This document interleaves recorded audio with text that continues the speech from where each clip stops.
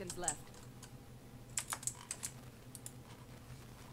One enemy remaining. My ult's ready.